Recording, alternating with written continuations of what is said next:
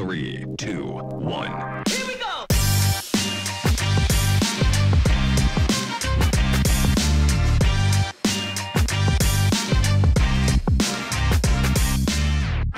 Welcome to the System and Soul podcast, a place for founders and entrepreneurs to discover breakthrough in their business. I'm Benj Miller, fellow founder, business coach, and your host.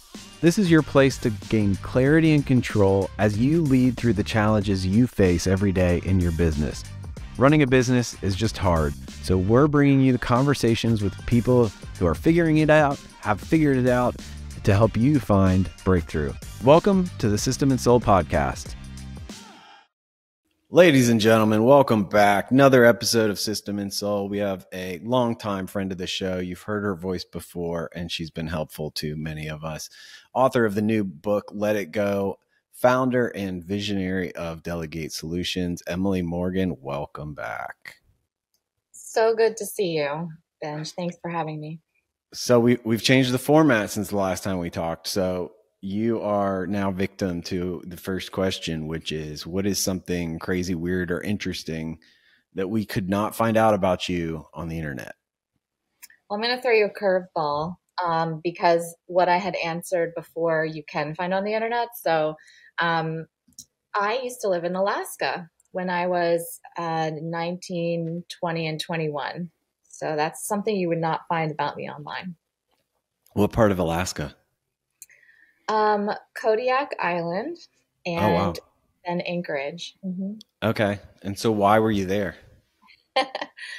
I followed a boy up there um, when I was in college, and uh, he was in the Coast Guard. So we were up there while he was um, flying on helicopters and stuff like that. So I, I'm now like obsessed with watching that show, Alaska Daily, because believe it or not, I worked at the Anchorage Daily News, which is what that show is based off of for some time. Oh, wow. That's super Yeah. cool. Yeah. Yes, Take you back to your past. All right. So we'll see where this conversation goes. But I asked you before the conversation what are the top three things that you're wrestling with, questioning, learning, thinking about right now. Um, and I love all three of these. So I'm excited to dive in. But I'll give you a sneak preview. We're going to talk about how AI is commoditizing your industry, dealing with legacy employees. We might get a little risque and vulnerable, vulnerable there, and creating world class client experience. So let's start about AI. Um, I, I love it. I'm into it. I've just had a whole breakfast and we geeked out about it. So Mhm. what what's on your mind? And and I'm am curious, how is it commoditizing your industry? Yeah, I mean, I've seen, I'll start with the commoditization part. Like, I've seen just unprecedented commoditization of our space, which is essentially virtual assistant space, largely, I think, due to COVID and people sort of thinking differently about working remotely and working fractionally and um, the struggles that we've been having trying to staff and get find employees and talent. So it's just really changed mindsets because pre COVID, you know, I would say, oh, virtual assistant, no one even knew what that was. I would talk about working virtually, which we've been doing since 2007. No one could like wrap their head around how is that possible? Um, but yet, you know, within just a short period of years, it's really flipped the script. And so now it's just become so normalized. Um, so that's part one of sort of how I see the commoditization curve happening in my industry. So people virtually competing for jobs anywhere is Mhm. making it more difficult. That I think um, the the labor force here in the states is forcing employers to think differently about how they're going to staff and grow their companies. Yeah. So looking overseas, looking fractionally, um, you know, it's just really been a very fast evolution um, of normalization in what we do in particular. Yeah. Yeah. Not to mention the whole gig economy. So instead of having somebody on the roster, I can just pay for projects. And sometimes that feels a lot better. So Yeah. talk to me about the AI side of it. So the AI side, I think, you know, I I've I firmly believe like humans should not be scheduling, right? Like and so scheduling is still a large part of what we do. and there's yet a lot of tools coming out to help people with scheduling. Um, so different tasks and things that are more mundane, more um, easily automated is also sort of a lot of the work that has typically been delegated to us. So what I'm seeing is just a lot of those types of activities now being handled by AI, which is encroaching on our work. So we're just having to continually look of how we're adding value through things that aren't going to be eventually taken over by artificial intelligence, which yeah. to me is the relationship part of it. All right, so I have a bunch of questions in there. First of all, very tactical. What are mm-hmm. some of the the good tools out there for scheduling because I I do I you know, I'm one of those people that will send my calendar link, but I always do it hesitantly cuz it feels so I don't know. There's just something about impersonal to me about that. So I, I always hesitate. Um, is that kind of where you see it going or, and that's just more normal or do you, are there better tools?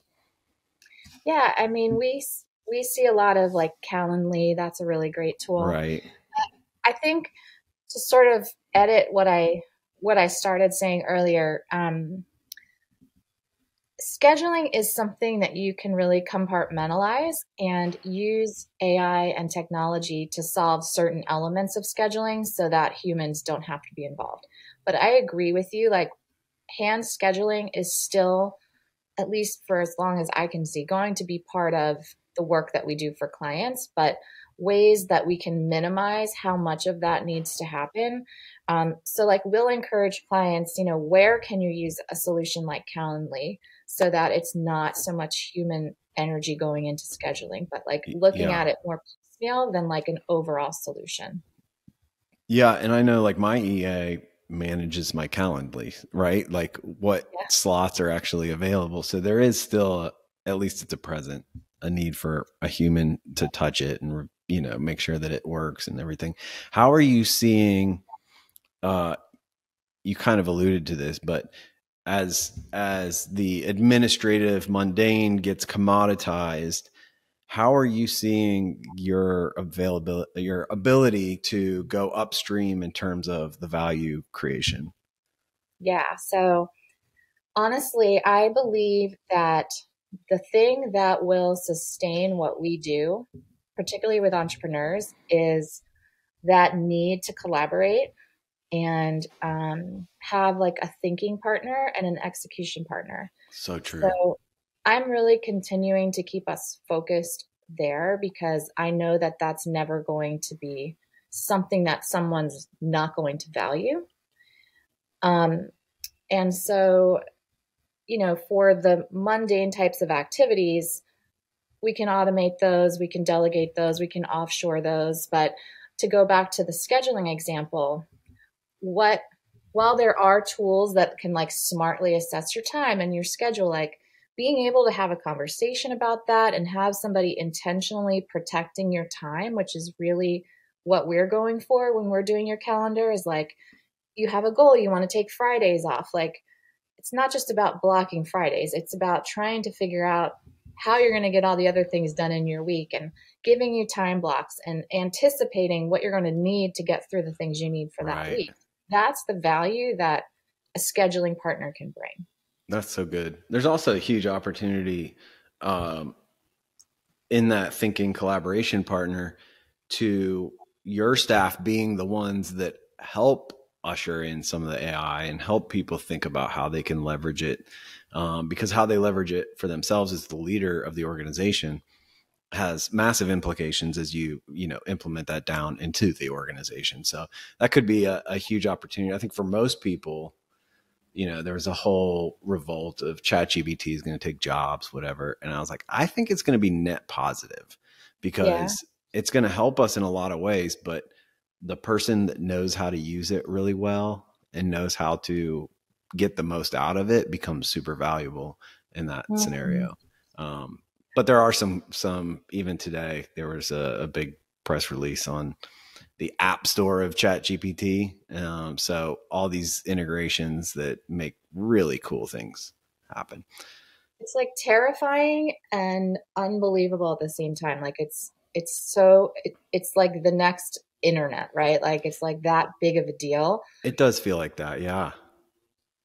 I totally agree, and I, I, I think it is. I think we'll look back and you know, just like my kids don't understand how we grew up without text and email and, and internet. They're they're gonna at some point, you know, be like, "How did you how did you get answers like this?" And then we're like, "Well, we had to Google it." And before that, we had an encyclopedia. So yeah, uh, it'll be very interesting. Very interesting. Remember those the Dewey Decimal System at the library? oh yeah, I wonder. I wonder if that even exists. I don't know. Um, Emily, let's talk about dealing with legacy employees. First of all, what what is a legacy employee?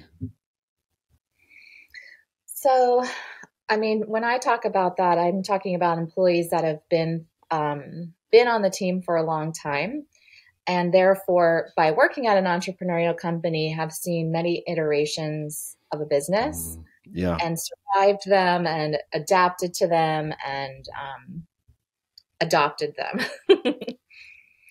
and you know, what I'm seeing also is as I'm maturing more as an entrepreneur and as a leader, and having been around doing this for going on 16 years and have had employees, you know, seven, eight, ten years. Yeah. You know, like I, I struggle with the loyalty piece because um, I'm I'm so loyal as like just a leader and a human, but at the same time I recognize that like sometimes the business evolves past people or sometimes they just are tired of the change, you know? And so that's an internal struggle that I deal with a lot of like this this person has given me seven, ten years of their life, but like it's yeah. not working anymore. what do you yeah. do about that? Yeah. So how are you approaching that? Um, well, it I saw it with um, you know, Joe, my integrator. He was with me 10 years. And um, you know, I think we had that energy of like startup, right? So like he was with me year probably like four to 14 or something, right? And we thrived in that dynamic. And then, sort of, as we, as I evolved as an entrepreneur, he kept pace with me as my integrator. But at a certain point, he really wanted to explore different parts of himself. And so we were purposely setting an example that, like, hey, this can be a really healthy conversation that you have together. It doesn't have to be this painful thing where I'm hurting you and you're hurting me. Like, how do we yeah. make this positive for everybody? And so we tried to lead through that example um, in in that situation. That's great. Uh, we're working on a, a, tool at System Soul right now that's going to get rolled out this quarter, but um, we use we use a tool called a, a roadmap for the organization. You know, that really creates the alignment around the vision and the strategy of where we're going and who we want to be. Um, and we're rolling out a personal roadmap that every employee can then have their own. And it's got different stuff on it, but the the whole purpose of that is to draw out the conversations that you're talking about about where things don't fit anymore or never fit and you know you made mistakes and and hopefully there's something that can be done to fix it. But one of those things is like hey i'm going to give you a long uh long timeline here but we need to find your next thing and i can help you find your next thing. And i think that um you know having those conversations directly it, it's kind of like the brene brown clear as clear as or caring you know mm. it, yeah. and um, so often we run away from those conversations but it's really um, it, it's like the other person knows right? So it creates almost this space until that conversation is brought out into the open. And then you have the opportunity to work on it together collaboratively which can be even if it's the end of the relationship it can be a great way to you know yeah. exit and that's what we we did you know he we created a ramp down plan for him. It wasn't contentious. It was really positive.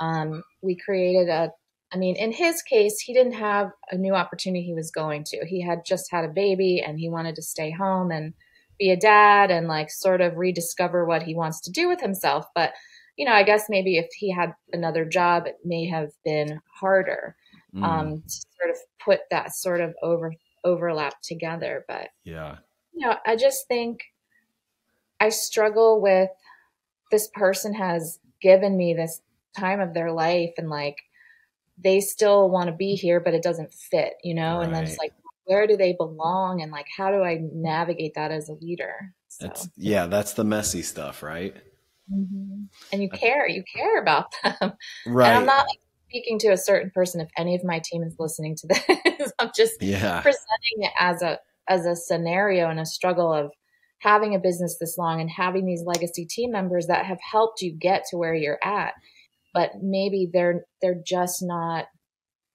the right fit for where the business is going and how do you navigate yeah that? I uh i'm there's i kind of see two types of leaders as i work with senior leadership teams. Um and and one is like as soon as you have three strikes or two strikes or one and a half strikes like i'm done with you. I'm writing you off. This is never going to work. Whether they do anything about it or not is a separate conversation but mentally they write them off. And then on the other side of the spectrum, there are the supreme loyalty loyalists who like uh, they're optimistic about the person and the situation, and it can change, and they can change, and we can change, and all these things. And one of the things that I realized about myself, because I was over on the overly loyal side for a really, really long time, until mm-hmm. I realized that my loyalty was actually selfish. It was about mm-hmm. me and they're not in a good situation. So, as a true leader, I need to step up and help them get into a good situation. Um, I heard Emily. This was a great quote. Uh, shout out to Josh Etris. He posted this on on LinkedIn, and it hit like a ton of bricks. He said, he said, uh, if you have an employee that you would be relieved if they resigned, then you're not doing your job. Yeah. totally. I was like, oh shoot, that because I think everybody has that employee, right? So man, um, that that landed hard and obviously got a lot of attention on it from that post. But. Yeah, and I've I've been um, reading a book called The Dream Manager. Have you heard yes, Yes, yeah. yes, absolutely. And I love that approach. And for those of you that haven't looked at that, it's basically a fable book, but it has to do with, um, you know, it's about a janitorial company and they're having all this turnover. And so they get to the bottom of, you know, why are people leaving? People are leaving because they don't have transportation to and from work. So they create a shuttle system so that the employees can be safe.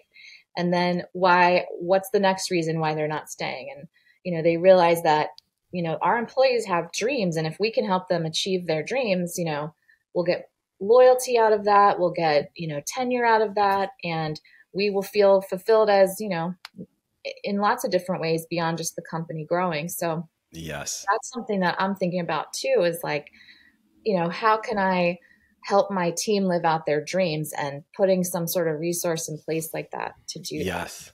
Uh, I've got two cool things. You just got me so excited talking about that. One is that that's built into this personal roadmap we're rolling out. So, uh, um, sorry all the listeners but emily i'll give you a sneak peek of it uh, after we get off here uh, if you want to look at it or implement it uh, the other thing uh, is one one of the companies i work with they kind of went down a similar journey to what you're talking about and, and they said you know small businesses which is who they serve and who they are uh, they they exist to create opportunities for people you know, mm-hmm. and not just not just the shareholders.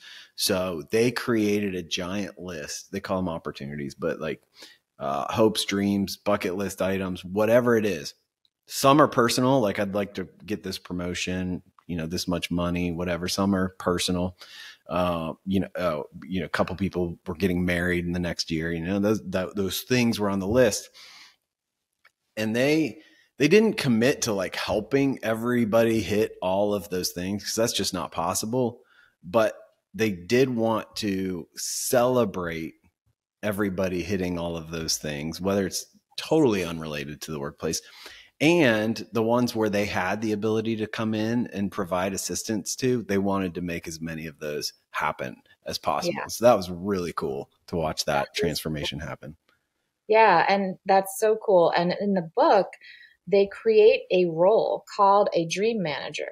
And so this person was like a hybrid financial advisor slash life coach that basically helped employees put a plan together to achieve their dreams. And it was just like that was the company wasn't financing it or paying for it, but they were providing somebody that could help guide and mentor Right. the employees in that way. So it's Right. pretty cool. That's that's so great. All right, let's transition to the third one: creating world class client experience. What are you thinking about there? Yeah, I mean, this is pretty vulnerable for me to say, but I'll share it. You know, you build your business, and the way that I built the business, maybe some people can relate, is you know, you do the thing, you create the process, you teach someone to do it, you step out, right? Like that's sort of how it works as an entrepreneur. Like you've sat in all those seats. And so, you know, I've recently gone back into the business to kind of look look at things and to what I'm finding is like my team has altered the way that I built it or cr- taken creative justice over how it was designed and like that was a pretty terrifying moment for me. Like I literally had to go outside and take a walk because I was like I am freaking out. You know, it was like just so crazy to think that, you know, I'm out here talking about what we're doing, but like the real deliverable that people are seeing is not matching what I'm thinking is going on in the business. So like I'm just stepping back in to look at different points and see like all right this is how i did it. This is why i did it this way. Here's how they're doing it now. Like Yeah, how do i really make this the vision of this great experience that i had when i started it?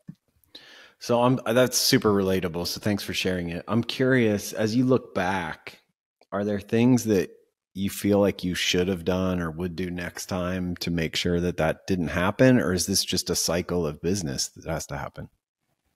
I don't know. I mean, I was sharing this in my EO group the other day, and, you know, one of the guys was like commiserating, and he's like, Yeah, but you know what? My coach told me, like, who do I think I am? Like, that's an ego thing, right? Like, why is my idea better than what they've done? And I don't totally disagree with that, but at the same time, it's like, but if they don't have the whole like picture of like what this one is saying and what that one is saying, like how do you how are they connecting the dots that these little changes that they've made don't impact what she's saying on the discovery call or whatever?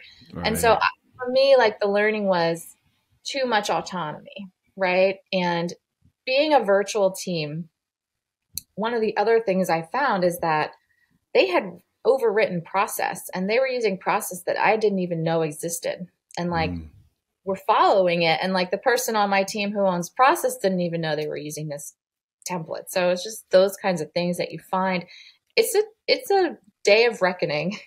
yeah yeah a, a friend of mine good friend runs about a 40 million dollar business and i'm always like man you you're way too in the weeds of your business for it to be as big as it is Hmm. and honestly i've grown to appreciate that of him over the years because he just has a methodical sense and it really is about the client experience for him Yeah. and so he's like if we're going to send out a text message from an automated you know app um, then I need to write it because it, it's not getting sent out once. It's going to get sent out 18,000 times this year and it needs to be in my voice. And I, I was like, man, most, that would be one of the first things that most CEOs would delegate. And so I, Yeah. there's definitely, I'm challenged by that because man, the, the getting in the weeds is not my thing. Um, and if, if anybody can do it, it's probably going to be done better than me. So I'm, I'm fine to delegate most of those things, but he, he, because he cares about that world-class client experience, he Yeah. does stay very connected to the details. Yeah. And I'm a, you know, if you've read my book as a bottleneck type, like I'm a time optimist. So I'm optimistic by nature. And so my leadership style is a lot of assumption, assuming the best. and so Yep. that is sort of like part of how I've gotten to this place because I'm like, just show up and do a great job. You know, you're a great person. You know what you're doing. And, and then it's just sort of like, you know, I assume they're going to do what I built, but I'm like looking at, 'em like, what are you, where did this even come from? So it's a really scary place to be like, and from someone that talks about delegation, you know, it's a really interesting perspective, I think. Yeah. Yeah, as as leaders, we've got to figure out where do we put our energy. I had um, Jesse Cole on here. He's the owner of the Savannah Bananas, if you know them. Okay. Um, so super fun, charismatic guy. And I can't remember his exact quote, but he, he basically said if if he's not creating or evangelizing, he shouldn't be doing it. But Mm. uh, granted, that's his wiring, right? He is a big, charismatic guy that he should be out getting fans and creating experiences, uh, and probably shouldn't do anything else. But for that's not universal, right? What are the things that you have, you know, your superpower, your unique ability that you need to make sure, and then getting all of that time pushed into those things. And then every once in a while, this sucks, but we got to go figure out why people aren't doing the process and, and stuff like that. reckoning. Yeah, it was it was the, the day of reckoning for me. Um, and again, like I don't necessarily see it as a delegation problem. I see it as a too much autonomy problem. that was really just more of a lesson because um, I think you know we just sort of wanted you know we we follow these methodologies and we sort of wanted to empower people to do their jobs and all the things that you're supposed to do as a leader. But Yeah. at the same time, it's like there still needs to be some oversight that's the connective tissue of somebody that understands the whole picture. Yeah, yeah, that's so good. Will you will you spend a minute before we get off here? Um, I, I want to promote your book because it's really good, and most people don't have the depth of thinking that you do when it comes to delegation. You know, it's always just a good idea, like, well, you've got to delegate and elevate and whatever, whatever. But you did a really good job. And could you talk through those bottleneck type? You kind of mentioned your bottleneck type, but what are the others? Because I think it's very relatable for people. yeah. Yeah. This is one of our favorite things to talk about because these are behaviors and they're fixable. And so understanding them um, and then like teaching your team about them and understanding the vocabulary together so that you're like able to call it out or process the behavior as a whole is really important. Um, so the first type is the hero, and the hero like always wants to save the day. So you're the person that's like really enjoys the recognition of solving the problems and the energy that comes out of you know putting out all the fires. um, entrepreneurs are so traditionally hero behavior types in their businesses. So. Yeah, Um, and then the next type is the isolationist, and that's the person who's probably been burned in the past with delegation, and and they're constantly saying things like, you know, I'll just do it myself. It's you know, so much easier if I just do it myself, and that's true sometimes. Like that, it's not like this universal untruth that that's not something that we say, right? Like it sometimes it is easier. But if it's getting in your way and it's preventing you from doing the things that you need to be doing, that's that's that bottleneck Yeah. type. Um, the next type is called the interventionist. So they're the ones that are your classic micromanagers. Um, they want to know everything that's going on. So this is definitely not my type because I was like two hands off. Um, they want to know everything that's going on. They want to be in the middle of everything. Um, a lot of the times, like this is more of a deep set thing where they get same thing with the hero. They get validation out of being the one that everyone's coming to. yeah, Um, sometimes people with this type are scared of a bigger calling or, you know, what their unique ability is or what their impact really is, or they don't know yet. And so they just stay in this place where they're perceived as like, I'm so important because I'm doing all the things and I'm saving the day all the time. And there's an adrenaline rush that comes from those types of behaviors. yeah, Um, and then the next type is my type, which is time optimist. So we're optimistic by nature. We really struggle with understanding how much available time and resources we have to get something done. so that can be really challenging for our team in particular and for just the energy that we bring to ideas and you know when we're doing our quarterly planning like what really can we get done in a quarter yeah, yeah. and then good. the last go ahead sorry Nope. Go. Um, the last type is the dreamer. So the dreamer is, you know, ide- ideating all over everybody all the time. So another classic entrepreneur type. Um, and the challenge with the dreamer, and and this is really important if you're this type, is that you know, your team typically lives in execution while you're living in ideation. And so you're like vomiting these ideas and and everyone's so excited by your energy, but like all your team is hearing is, "Oh my god, but I still have to do that." And is this really a priority? And so recognizing this behavior and recognizing that team is thinking execution is sort of a, a check that you can give yourself. I'm grinning because yeah, I, as you went through the first four, I'm like, I wonder which one I am. And then you hit the first one, fifth, and I'm like, oh yeah, that there I am. that's uh that's pretty clear. Mm-hmm. It took me a yes. long time to realize that one new idea for me meant you know 100 hours of work from other people and they didn't have that and it was a bad day for that and yada yada yada. So that yeah that was a that was a long road to getting there probably a decade of my career but um, and sometimes like the idea is not even like thought out yet right? And then people are like trying to run with it because they take right yeah yeah or or like it could be a really bad idea. I'm not like hold on i never said it was a good idea. I never said we should do this. We're just we're just hanging out. We're just talking. Meanwhile, like you probably told it really good. Yeah yeah and they're stressing because they have to go do it so that makes perfect sense. Um yeah that and emily's book breaks all five of those down and gives you for lack of a better word the antidote uh, for each one of those about how you can kind of move past your default style. So, highly recommend Let It Go. Emily Morgan, always fun to hang out and see you and hear your brain because you're you're always working and growing, and I love that about you. So, thanks for hanging out. Always, always trying. So, thank you for having me, Ben. Absolutely. We'll put Emily's uh, book and company in the show notes so you can find her, hit her up uh, and we will see you next time.